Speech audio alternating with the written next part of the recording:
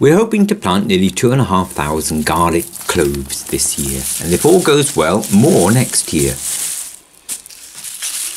So it would be handy if we had a planter like this, but we don't.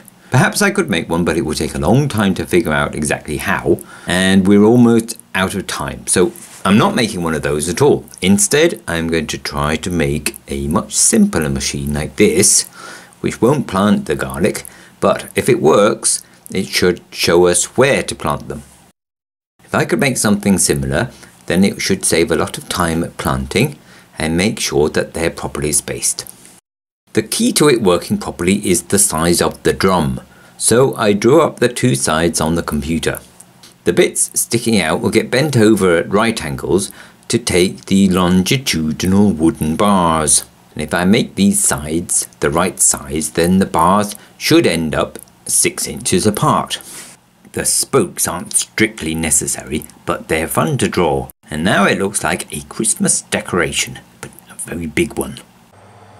So here we are at the plasma cutter, running the drawing through another program that makes the code for the plasma cutter to follow.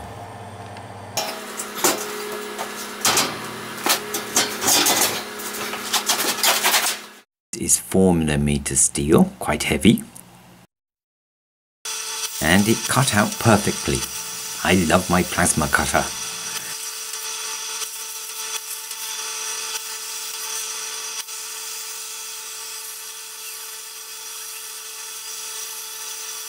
This video is speeded up quite a bit, but still it only took a few minutes per side. And all the cuts are clean and in the right place. I just hope I drew it correctly in the first place.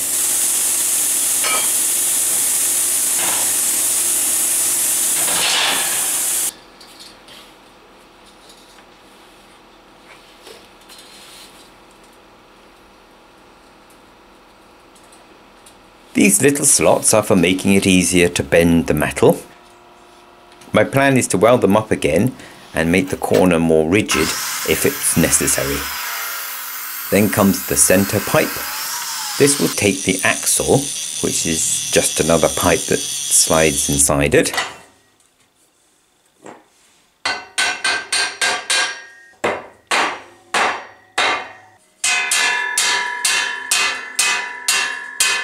The wooden bars are 3x2s, what I could find around the place, with holes drilled in for the bolts.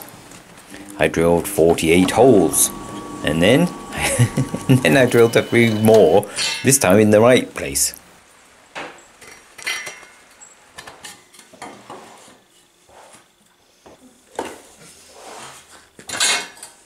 The dibbers, that's the spikes that poke into the ground, need to be about 40 millimeters wide for our garlic. In this picture the spikes are made of steel, but making a cone shape without a specialist tool is tricky for me, so I'm trying something else. This is PVC wastewater pipe, and it's about the right size, and I have some odd pieces around that I can use, but how to attach it to the timber?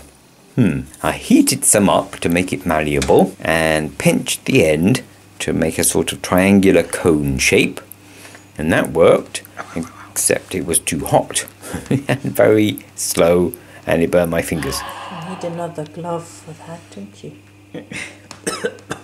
it's stinky also. And I have to wait for it to cool while my fingers cook. So I made a special thingy.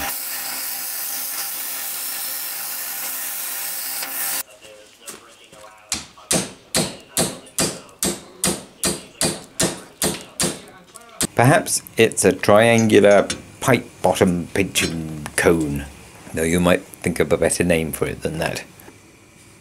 And that worked well because the pipe, when it was soft, was pushed into the right shape as you pushed it down onto the metal thingy, and it was much faster.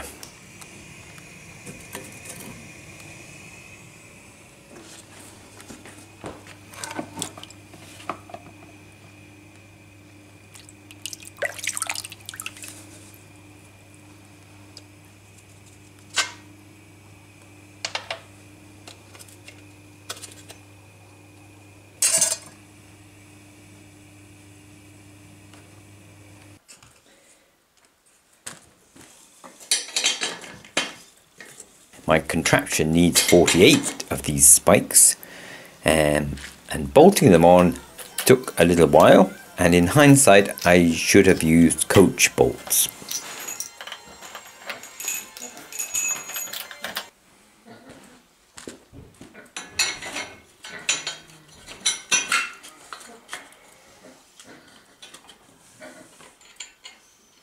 And then I tried them out on the sand pit I was relieved to see that it did seem to work. But of course this is just on soft sand.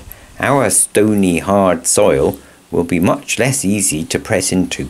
Although in theory if the dibber drum weighs enough it will sink into any soil, in practice if I make it too heavy we won't be able to move it at all and it might well just buckle under its own weight and keel over sideways.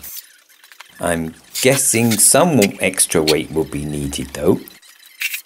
So I made a frame that can be loaded with concrete blocks if needed. And I'm putting a handle on it too.